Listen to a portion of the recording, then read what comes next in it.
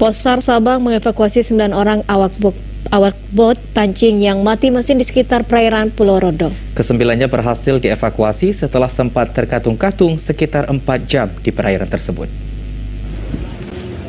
Satu unit bot pancing dengan nama lambung SKPT Sabang sekitar pukul 12.00 waktu Indonesia Barat tengah hari kemarin mengalami mati mesin di kawasan perairan Pulau Rondo.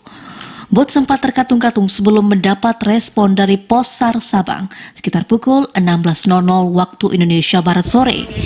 Melalui laporan masyarakat, bot yang memuat 9 orang awak kapal itu langsung dilakukan pertolongan oleh tim rescue pos SAR Sabang sekitar pukul 16.15 waktu Indonesia Barat. Tim menuju lokasi dengan enam personil menggunakan RIP Sea Rider dan membawa palsar air kapal komunikasi serta responder bag dan APD COVID-19 untuk melakukan evakuasi.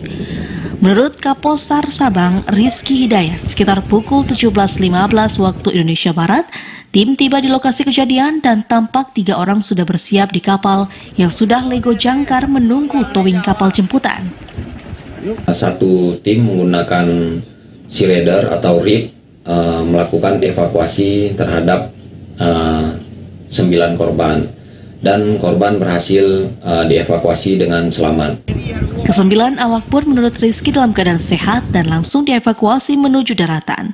Proses evakuasi melibatkan tim dari Posar Sabang 6 orang, Poi Lairut 4 orang, TNI Angkatan Laut 2 orang, nelayan 10 orang, sementara kesembilan awak bot semuanya merupakan warga Sabang.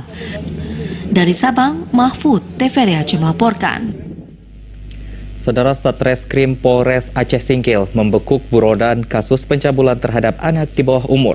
Tersangka terjerat pasal 50 junto pasal 49 Kanun Aceh nomor 6 tahun 2014 tentang hukum jinayat.